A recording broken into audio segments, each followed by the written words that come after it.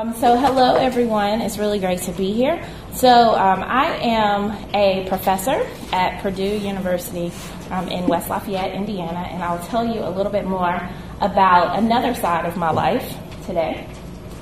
So, let me just start off by saying that I am from the country, and I um, am actually from Alabama, but the place where I was born was so small that I was born in Georgia. And that just tells you how far out um, I was. So I did not have access to um, to advanced classes, AP classes, international baccalaureate classes, all the calculus classes, all the physics, all the things that you would expect for someone who ended up being an engineering professor to have. And I think that's really important in my story as well. So after that, I came to um, Spelman College, which is right down the road. I had an opportunity to get a full scholarship from NASA um, to be a Women in Science and Engineering scholar, and this is where I realized just how far behind I was in technology. I had people in my cohort who attended um, or who had been accepted to MIT, people who had um, had advanced placement classes um, in, in STEM, but also in languages and in other areas too. So I was the person who cried. During our summer bridge program, I was knocking on doors, crying because I didn't know anything about derivatives, integrals, or anything like that, although I was a math major. So I ended up graduating with honors, and um, I went on to get a master's degree in engineering and NASA paid for that as well. Um, so I had an opportunity to work with the International Space Station um, crew a little bit, and it was really exciting to get that opportunity. From there, I was hired at Purdue University in 2005, and I um, was at an engineering school in an engineering department teaching first year engineering programs. Um, program students, many of whom had never seen a woman or a minority um, at all in, in the classroom. And so this began um, an interesting perspective for me. So this is my first student, Nathan, who's now a professor at the University of Colorado, and um, a student, Tamil, who's from Chicago. And as a professor, and even through my training where I got my PhD um, at Vanderbilt University in Leadership and Policy Studies, I had an opportunity to learn about grant writing. I learned about um, a little bit of advising, some leadership, and some things that were typical faculty things. So I knew how to do a lot of the skills that would help me to succeed as an academic. Um, in 2010, I had an opportunity to also meet President Obama. I was able to obtain a Presidential Early Career Award in Science and Engineering um, I'm for scientists and engineers. And um, this was really amazing to me, especially given my humble STEM background. But I realized that there were great opportunities. And this is a quote that, that I had um, that talked about um, confirming that the American dream is possible for anyone. I realized that as I got this award and had an opportunity to be a guest of um, President Obama. The picture on the right um, represents a time when I went back to the White House in 2011 to be on the workforce um, flexibilities panel with um, Michelle, well, sponsored by the First Lady, and that was an, an, immense opportunity as well. So, of course, you would think I'm at the top of my game, I'm doing great stuff, I'm so excited, I'm on my way, phenomenal professor, you know, let's just go and rule the world. But I want to bring out something too that I think was very interesting. In all of my preparation, people kind of forgot to tell me that there weren't a lot of other people who looked like me in the academy. And this is um, data from the American Society for Engineering Education, and it shows a representation of all African American engineering faculty across the U.S. And if you sum this up, um, as of 2012, there were approximately 150 African American women engineering faculty in the U.S. And with so many universities um, in the U.S., you can imagine many of us are not in the same universities. So I um, came to Purdue, and I realized that I was the um, only person there at the time who was in the tenure track position. And I asked people, where are the people like me? Where are my mentors? Where are the people who could tell me how to navigate this path? Something that I also was not prepared for was um, being mistaken for a custodial worker, worker. There's nothing wrong with being a custodial worker, but um, as a faculty member, I thought that when I entered the halls and when I connected with people, they would know that Dr. Cox is here. Professor Cox is doing her thing. She's taking names. She's a presidential awardee, and respect me, Dr. Cox. But when I was in the classroom with many of my students, they would enjoy, some of them would call me Monica. Some people would love calling me Miss Cox. And they would call my male professors Dr. Cox, I mean, Dr. Um, whatever the last name was, or Professor something. And, and there was this um, disconnection, um, disconnect. Also, you would think that it would just be limited to some of the majority students, but many of the minority students also had never seen a female um, of color, and they would do the same thing. So, of course, I felt kind of disrespected, thinking I've worked my whole life to get this PhD. I think that I'm doing something in STEM, but people still are not respecting me. So, um, this represents a conversation that I had with my husband. And my husband is a very supportive person, amazingly supportive. And when I had an opportunity to come to Purdue, he came as well. He's a musician. And I knew that something was wrong the day that my husband said that he felt that he was married to the people in my um, in my department, the people at my university, and the people who I talked about all the time about um, you know some of the, the things that I was going through about the stress.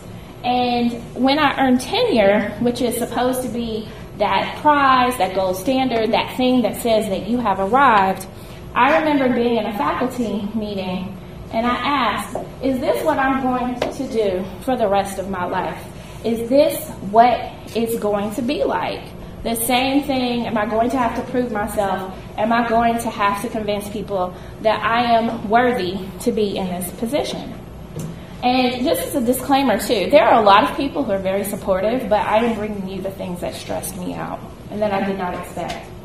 So I came up with this saying and I had um, a, a, a piece that I wrote for diverse issues in higher education. And I realized I was prepared to be a professor, but I was not prepared to be a pioneer. So, for all the training that I had, for all the right ways of being a professor and saying the right things and teaching the right ways, I also did not know how to get into a situation and, um, kind of stay solid when someone said something to me. Like when someone confused me with the only other black woman in a faculty meeting, you know, I was confused and I did not have a good way of handling that.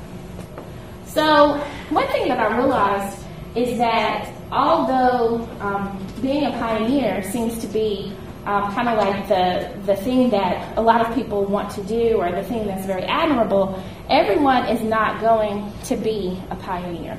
And I think that that's okay. But I think that there are several people who are thrust into a pioneer role, whether they would like to be or not. You don't realize that when you're entering a tech field or you're doing something, that you're the first person who people have ever seen to do a particular thing. And I thought that there was something, something to this that I wanted to pursue.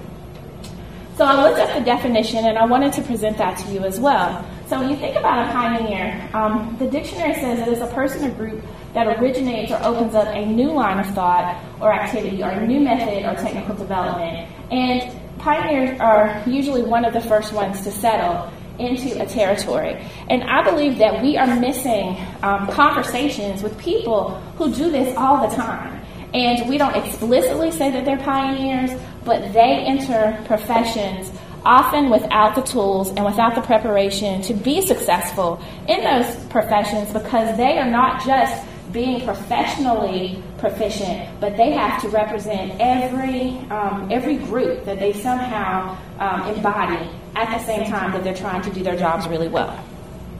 So I wanted to talk about three um, three tips that I have, and um, these connect to um, just a few things that, that I'll, I'll mention.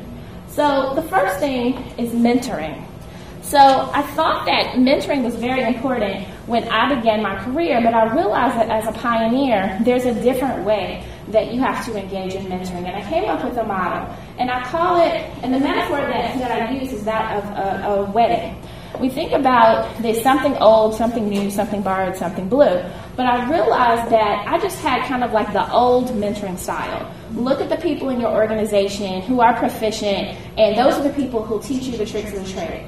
But I realized that the old in my in my um, model represents that type of mentoring, but you also need the new people. So those are the people who maybe do things in a different way. They're the ones who will um, convince you to do things that you would not have thought about doing. And an example for me is someone who's in marketing who helped me to completely rebrand my research enterprise.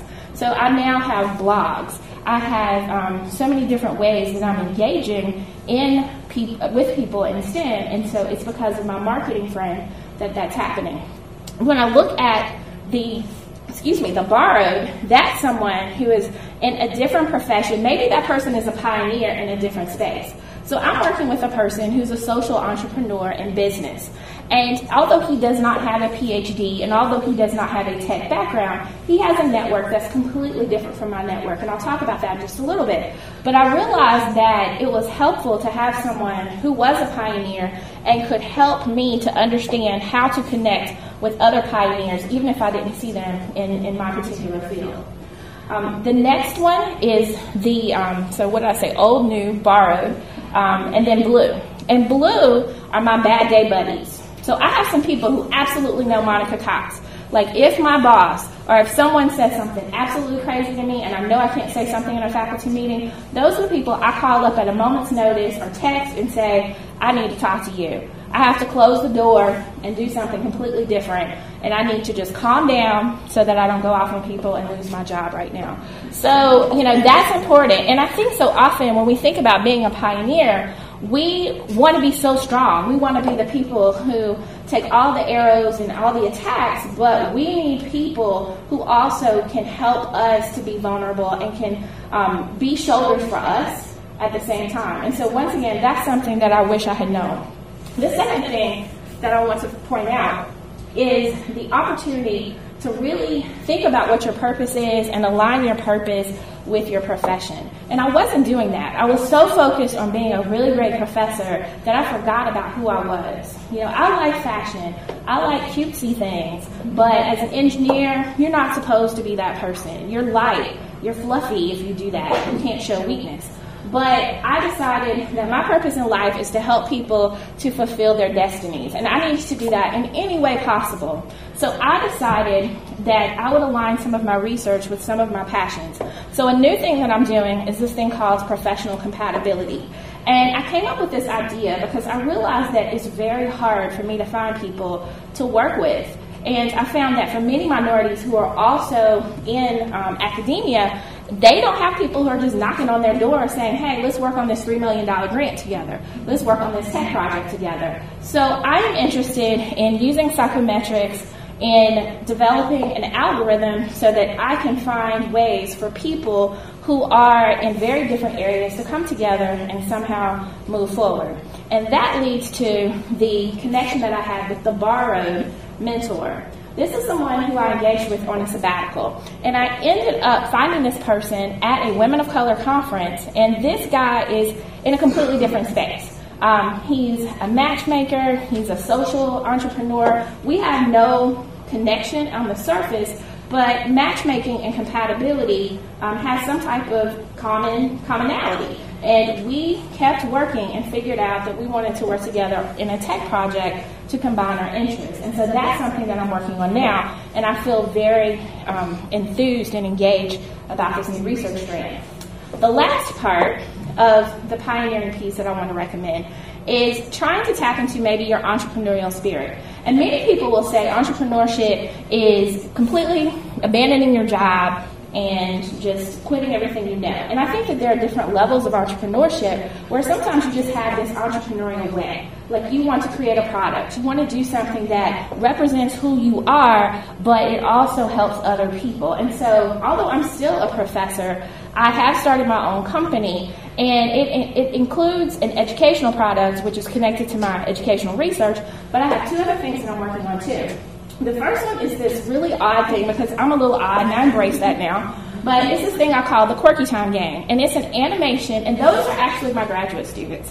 So one day we had a research group meeting, and we just started laughing, and we said, "This is so fun." And people would think that a lot of STEM professionals and minorities would not have fun. So we use Go Animate to create characters, and we do have some of these videos on YouTube, just our intros, but I'd like to do something else with that. And so if anyone, shameless plug, has any type of interest in like animation and, and you can help me out, that would be great.